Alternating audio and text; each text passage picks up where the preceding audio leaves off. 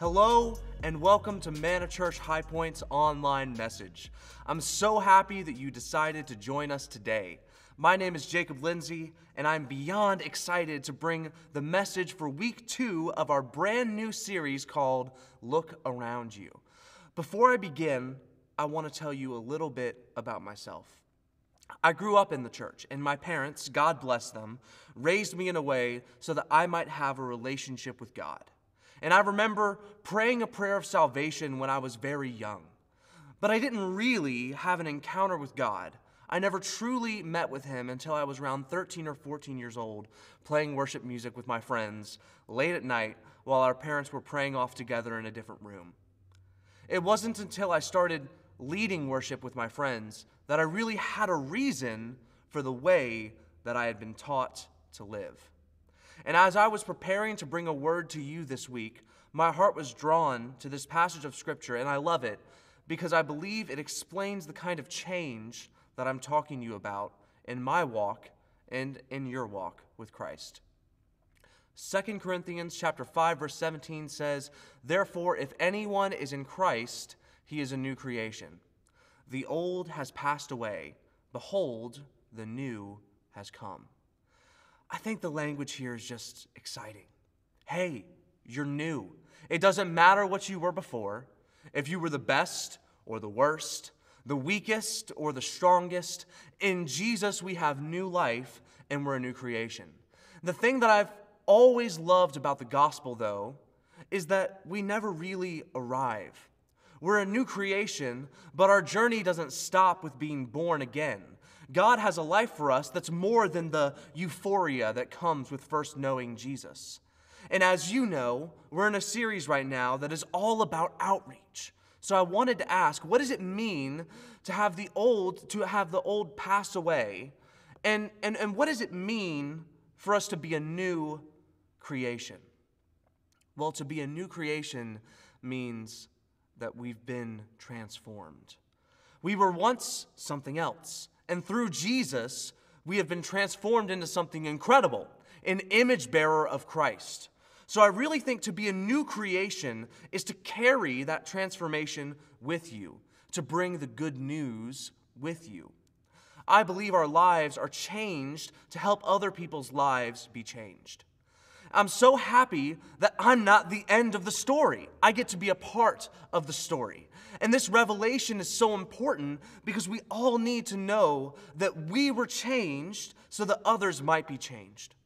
And I think that having this revelation and really thinking about it will give us a passion to see other people's lives changed. Today is all about changing our world. And that's the call today is for you to change your world. How do we change our world though? I think that's such an intimidating question. But if we look a little deeper into the scriptures, I think there's some good news and some practical instruction on how to change your world.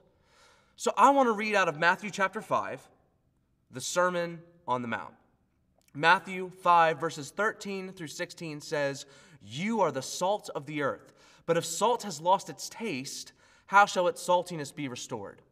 It is no longer good for anything except to be thrown out and trampled under people's feet. That's strong language. It says, You are the light of the world. A city set on a hill cannot be hidden, nor do people light a lamp and put it under a basket, but on a stand, and it gives light to all in the house. In the same way, let your light shine before others, so that they may see your good works and give glory to your Father who is in heaven. Jesus has a plan for me and a plan for you. His plan is for you to change your world, not change the world. That's a little big.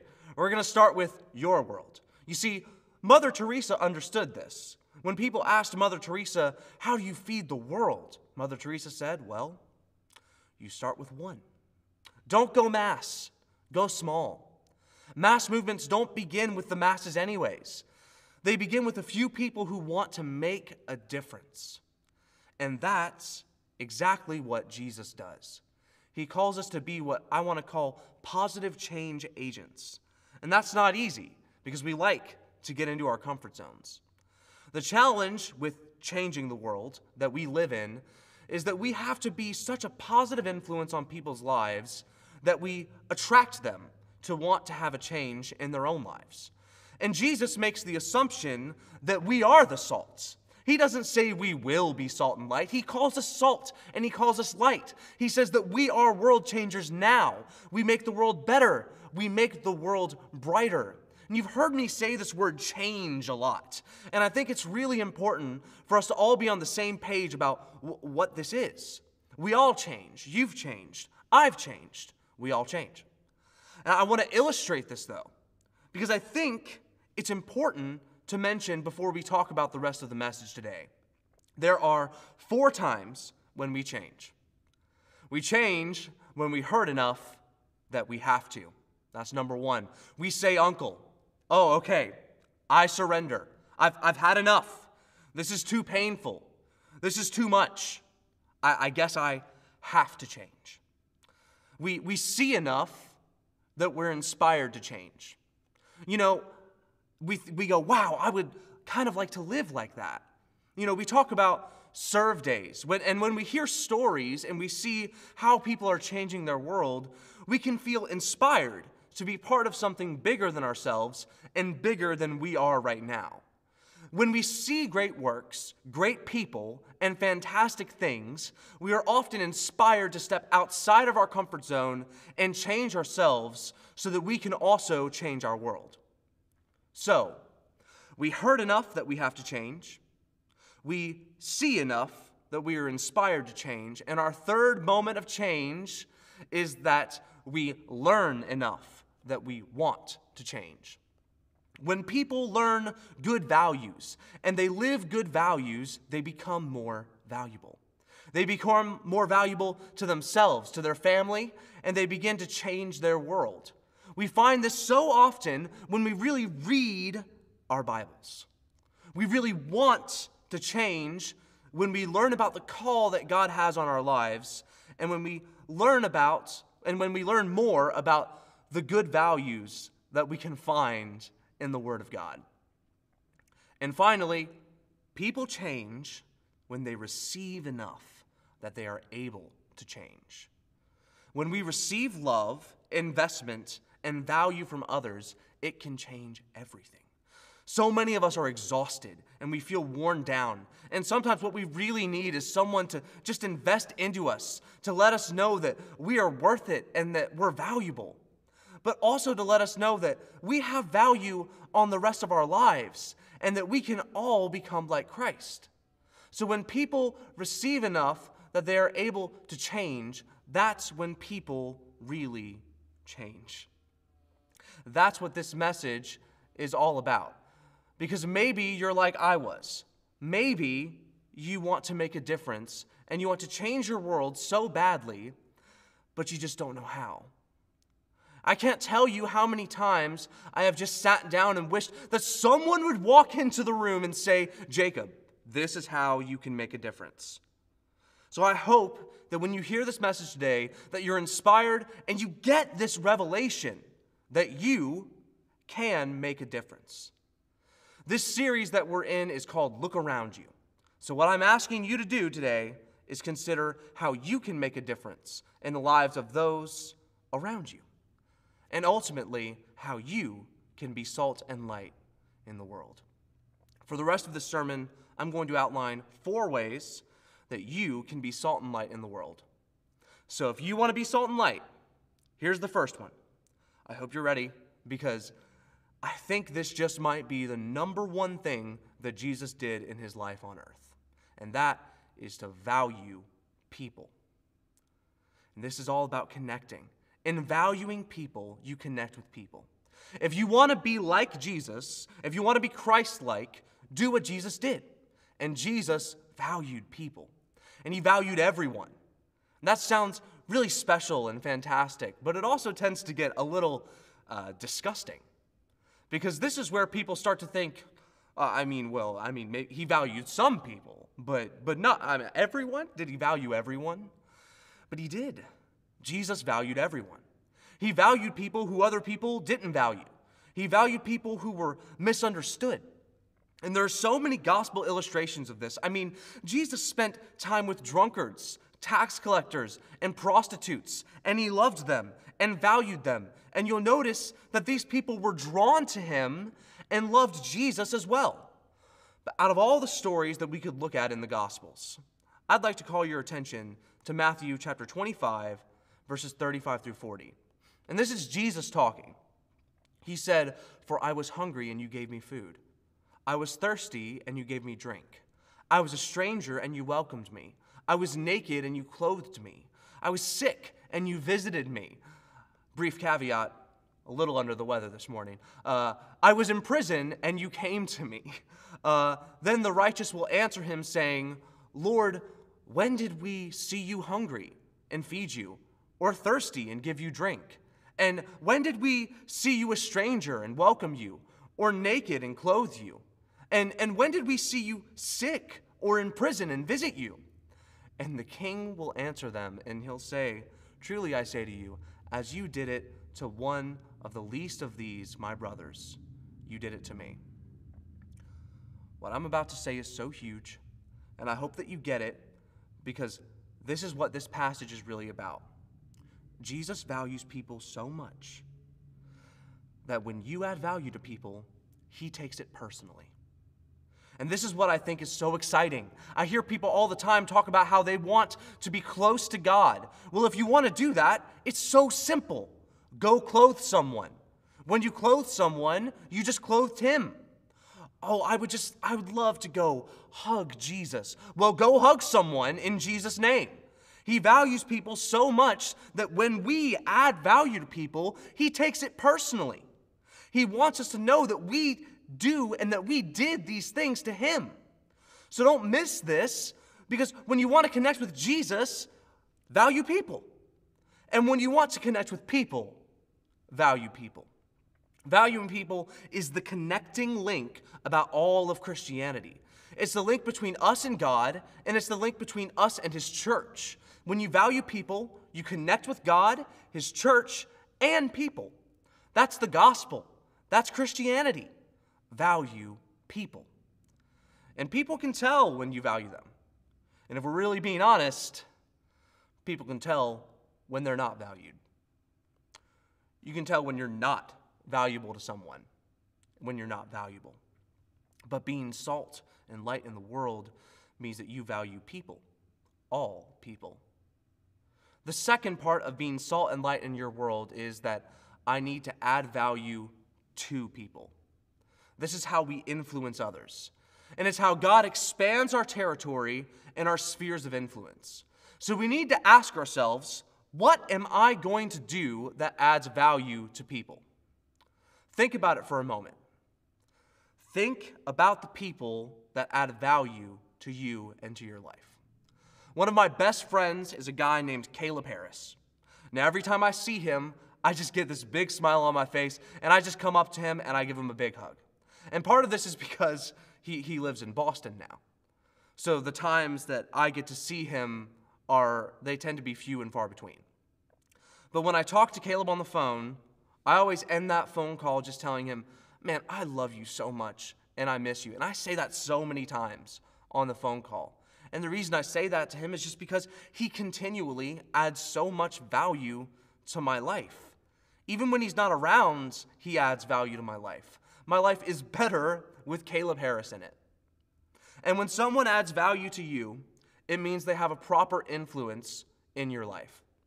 If you start adding value to people, you'll start to shed light in dark areas and you'll start to provide salt and actually better other people's lives. That's what salt and light means, you know. Salt makes things better.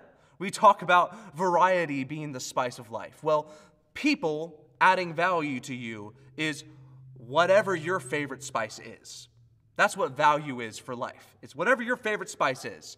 People adding value to you is a light because it lights up the dark corners of your soul.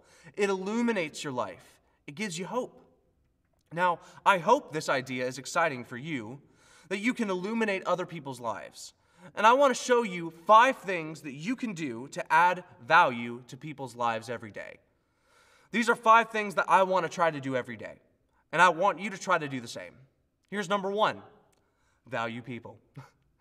Can you tell yet that this is all about valuing people?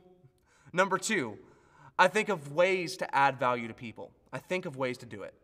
Before I'm ever with them, before I stand before you today, I am thinking and considering how I might add value to you. Before I ever stand up on this stage and before I ever speak to anyone, I'm thinking about things that I can say and things that I can do to add value to you and to others. Here's number three I look for ways to add value to people. Now, when I'm with you, I should still be looking for things that I can do. I shouldn't stop thinking about ways to add value to you once I'm with you face to face. As a matter of fact, this should be where the real brainstorming starts.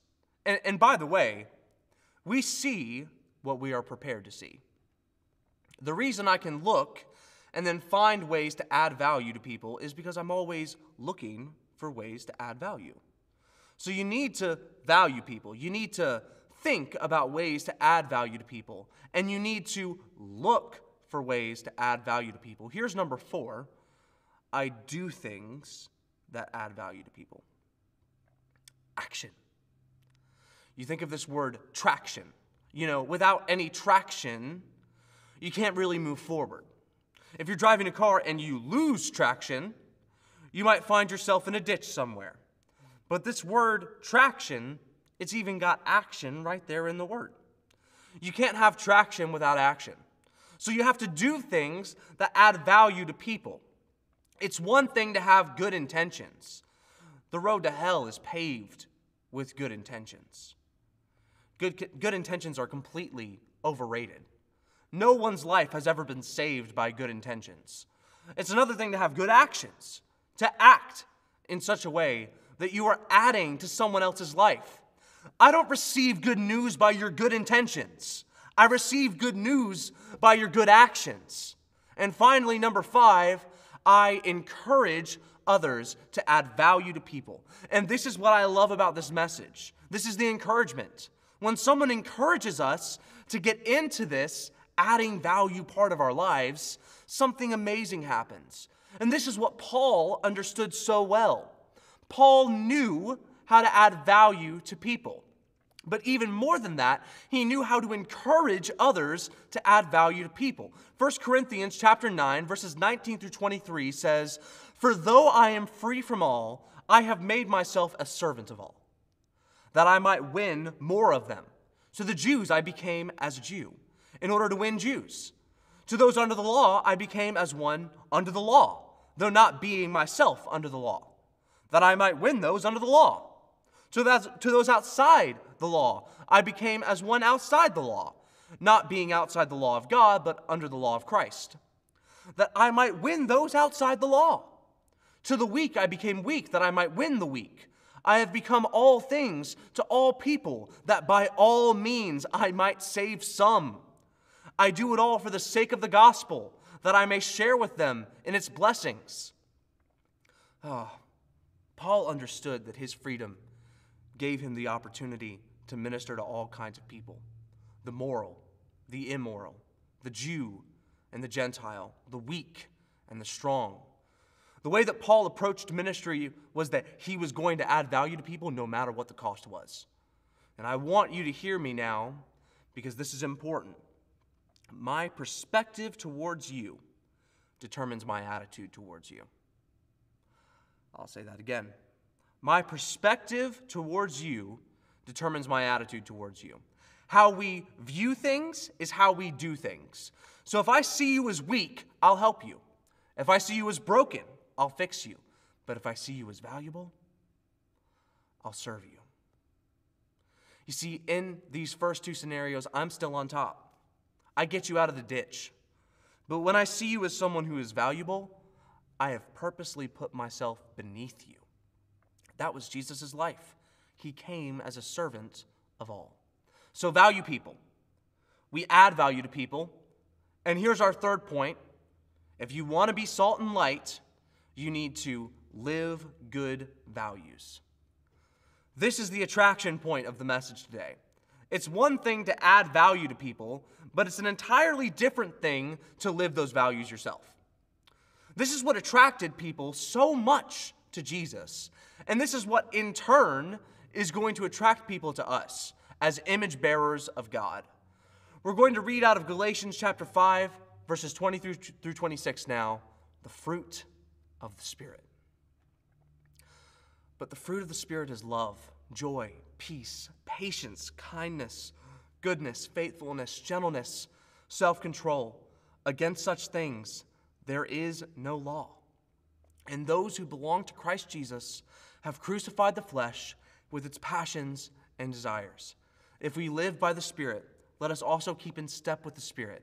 Let us not become conceited, provoking one another, envying one another. Look, if you want to live good values, embody the values and the fruits of the Holy Spirit. I'm going to say this, and I think it's a little funny. Be in the Word and be of the Word. So here's point number four, our last point for today. You need to share good values. You notice how all of these points are about values yet? Value people, add value to people, live good values, and finally, share good values. And this is all about transformation. And you know how important values are.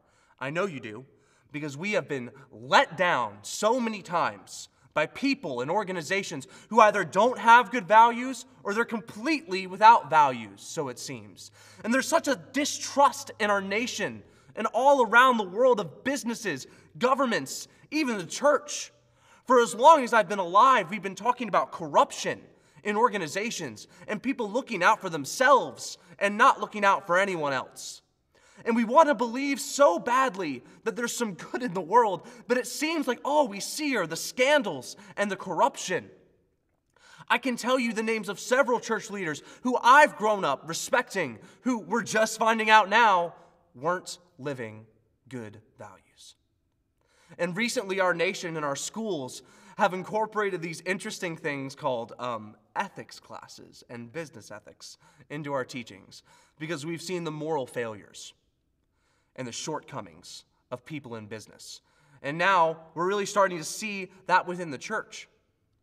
But we don't need a class in business ethics. We don't need a book in ethics because business ethics don't exist. There's no such thing as business ethics, there's just ethics. You either have them or you don't. And guess what? If you have ethics, they, they work in business.